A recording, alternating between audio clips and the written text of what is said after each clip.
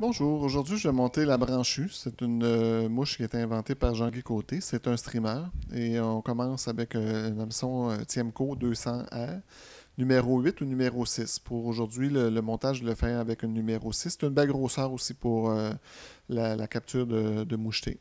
Donc le fil, c'est un fil 6.0 de la marque Uni. Et je vais emmener le fil à l'arrière de, de la hampe, à l'arrière de la mouche. On va arrêter entre la pointe et le hardillon. Et je vais installer, je vais prendre une plume de pèlerine, euh, je vais prendre une plume sur une pèlerine de faisan et euh, je vais l'installer pour euh, une plume complète pour faire la queue. Donc là, j'enlève les, fibres qui sont un peu plus courts et je vais l'installer sur le dessus. Je fais deux tours de fil, puis je vais mettre la. Je vais tirer un peu sur la plume pour avoir la longueur pas plus long que la, longueur de la queue est pas plus longue que le gap de l'hameçon. Donc, euh, une fois qu'on est satisfait, euh, je vais euh, attacher le reste de la plume. Je vais couper la plume un petit peu plus loin qu'à l'arrière de, de, l'hameçon parce que je ne veux pas avoir de, de, bosse sur le corps. Et là, je vais amener le fil jusqu'à l'avant, puis je vais revenir pour... dans le fond, j'installe du fil sur, sur la. Je laisse toujours une place là, pour la tête toujours prévoir la tête tout au long du montage. Il faut se garder de la place. Ensuite de ça, euh, avec un outil pour faire une, euh, dubbing loop et avec la cire à dubbing que je vais utiliser aussi dans cette, euh, étape-là. Et je vais aussi utiliser du du dubbing de FOC, donc de couleur orange. Là, la seule chose que je vais faire, je vais euh, la queue, je vais mettre du fil en dessous de la queue là, pour la. Elle n'est pas tout à fait bien positionnée.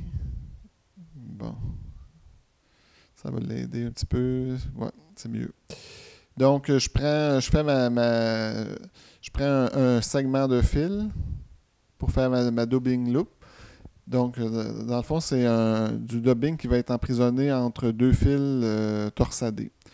Donc, je vais ramener mon fil à l'avant. On voit, là, j'ai pris un, j'ai fait comme une loupe avec mon fil.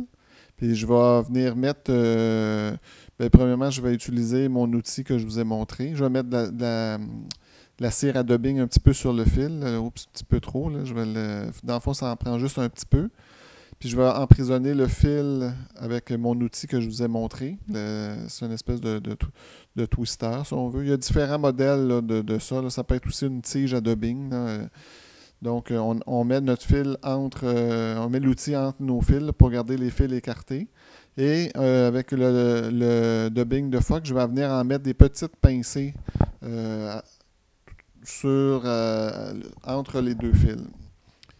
Donc, on y va par étapes. Et ce n'est pas euh, nécessaire d'en mettre des grosses quantités. Ça, c'est quelque chose qui est. Euh, souvent, c'est l'erreur des pêcheurs d'en mettre une euh, trop grosse quantité.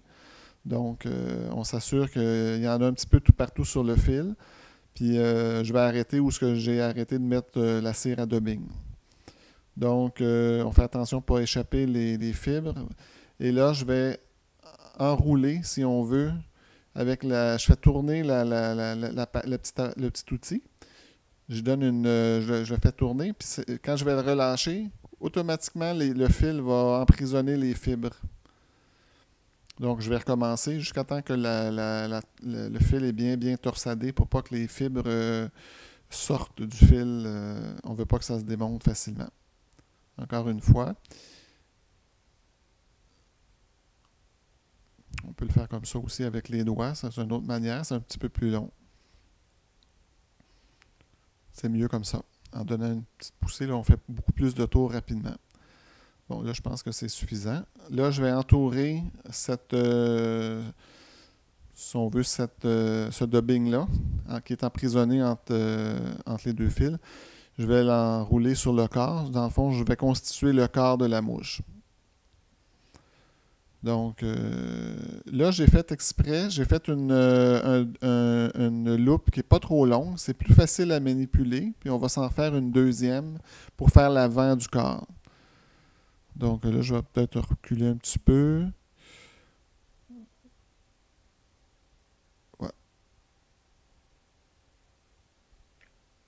Donc, je vais bloquer ça. C'est important de faire quand même quelques tours euh, avant de couper notre, notre torsade.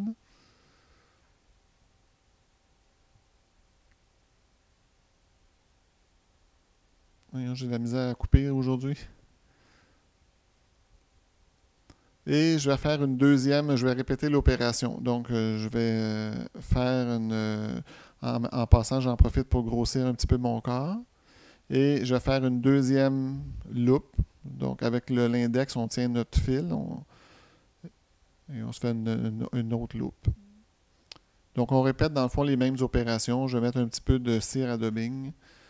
Puis, je vais mettre euh, mon outil.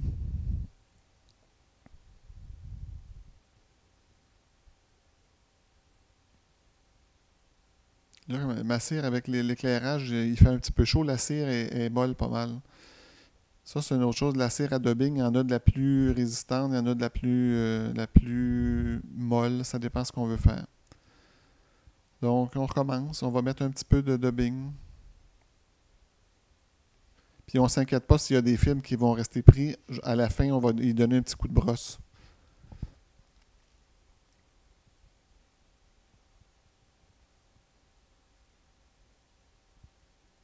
Je vais de vous montrer ce que ça donne avant de, l'enrouler. Vous voyez, on voit que le, dubbing, on le voit un petit peu là, comment je l'ai installé. Ça ne fait pas euh, des, gros botons. Donc, euh, je fais tourner mon, mon outil. On va recommencer quelques fois.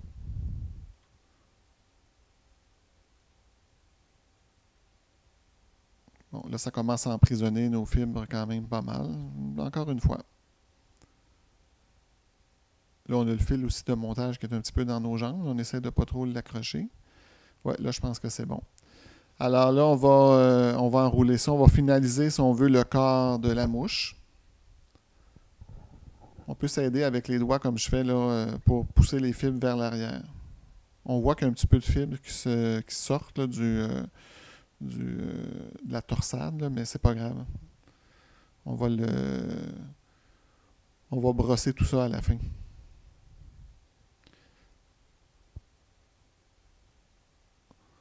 Donc, on est pas mal rendu proche de l'œillet. On va bloquer. Vous voyez, là, je fais au moins 3-4 tours, même 5 tours, parce qu'on va être sûr que ça ne se défasse pas quand euh, la torsade va. Euh, quand on va couper le fil à ce moment-là. Donc, euh, je vais juste venir commencer tranquillement à faire la, tête. Voilà. Et avec, comme je vous disais, avec une brosse, moi je prends une brosse à dents que j'ai coupé les. Euh, pour ce matériel-là, le Fox, je trouve que la brosse à dents est quand même assez. Euh, si on laisse les, les de la brosse à dents à, pleine longueur, c'est trop doux. Mais si on les coupe un petit peu, c'est parfait. C'est mieux qu'une brosse en métal qui est un petit, que je trouve moi un peu trop raide pour ce travail-là. Donc, on pousse vraiment les fibres vers l'arrière. Puis en même temps, les fibres qui n'étaient pas bien ancrées entre les deux fils, là, ils, ont, tombé. Donc, ensuite de ça, on va prendre euh, une plume de, canard branchu. Donc, euh, ça se vend en paquet d'une dizaine de, plumes. Moi, j'achète des plumes, euh, des belles plumes pour cette mouche-là particulièrement parce que ça prend vraiment une, belle plume. Donc, on va l'attacher sur le dessus.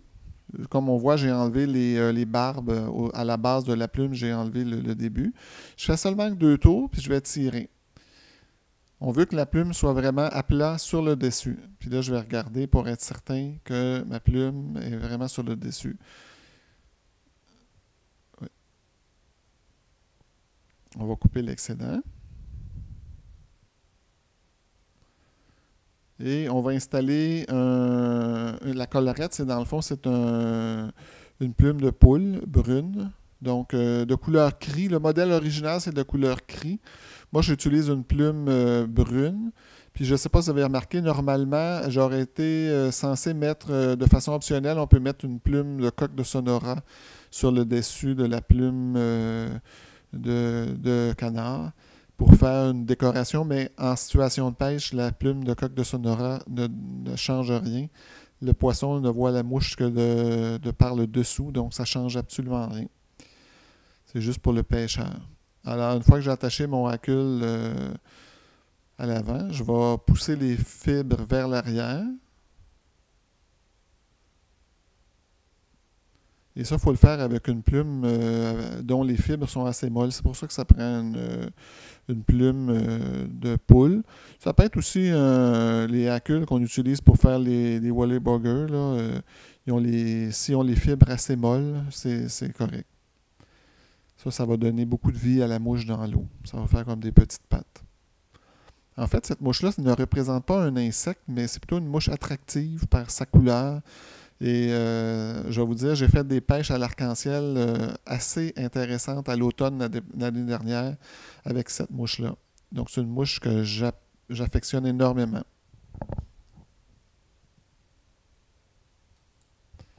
On est presque rendu euh, à la fin de notre mouche. On va repousser les fibres vers l'arrière. On commence dans le fond à faire vraiment notre vraiment une belle tête. La tête rouge aussi, ça lui donne une belle euh, visibilité. On peut la faire en d'autres couleurs également. Donc, on met le finisseur de nœud.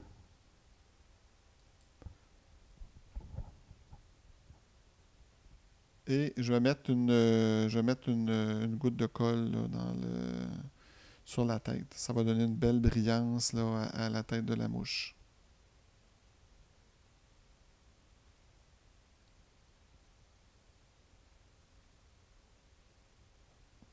Voilà. Et puis cette mouche-là, euh, c'est important aussi de déboucher l'œil de l'œillet, parce qu'en situation de pêche, il n'y a rien de plus plate d'arriver avec une mouche où l'œil est bouché par la colle. Donc euh, moi, je débouche toujours mon œillet. Alors, je vous souhaite un euh, bon succès de pêche avec cette mouche-là et un bon montage. Merci.